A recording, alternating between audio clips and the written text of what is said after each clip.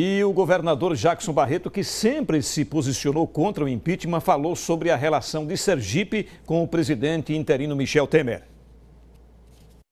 Não muda nada, não, é? não, não vejo assim sinais nenhuma de mudança. Eu gostaria que, essa, que as mudanças que acontecessem fossem assim, do ponto de vista de você melhorar eh, as condições de, do governo federal olhar mais para Sergipe. Nós precisamos de governo federal para atender às demandas da nossa população.